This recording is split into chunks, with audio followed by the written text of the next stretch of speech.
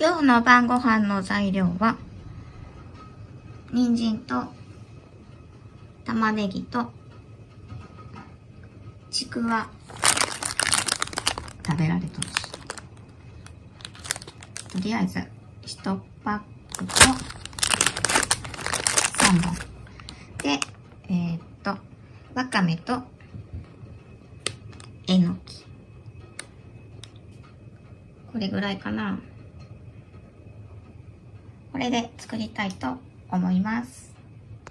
追加で、人参の葉っぱ、こんだけしか育たなかったんで、水につけといたらこんだけ出てきたんで、これも一緒に使います。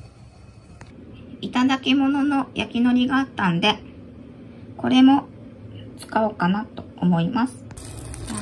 わかめ。えのきとわかめのお味噌汁。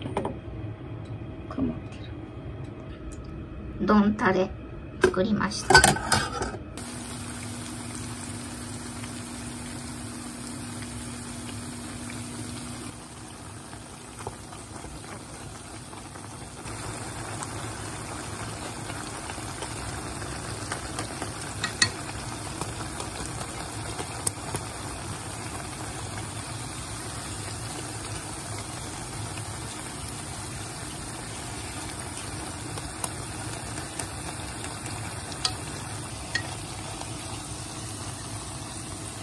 That's it.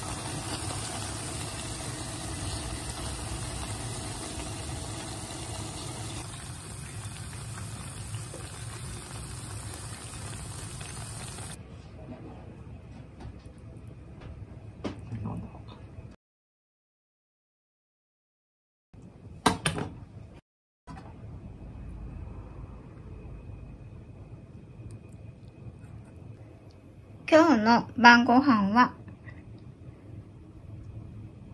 天丼と味噌汁でした。これは男子用。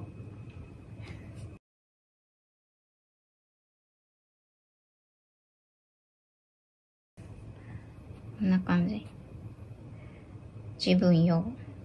で、これは残り物。おかわり用。